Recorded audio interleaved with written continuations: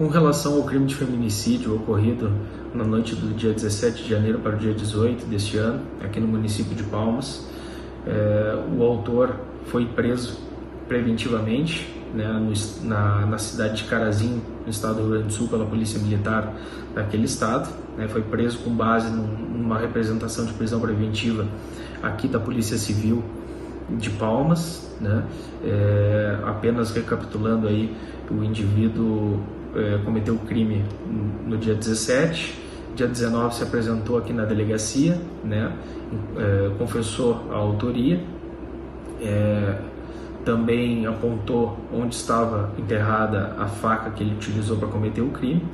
E provavelmente com essa apresentação ele achou que que não iria ser preso, né, e que, enfim, que isso iria deixar ele impune, né? Então a Polícia Civil no dia 29 de janeiro fez essa representação pela prisão preventiva dele, tendo em vista que havia indícios já de que ele é, teria a intenção de fugir, né?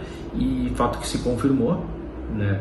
Foi preso em outro estado, no estado do Rio Grande do Sul, e lá se encontra preso então e agora responderá então pelo crime de feminicídio, não mais em, em liberdade.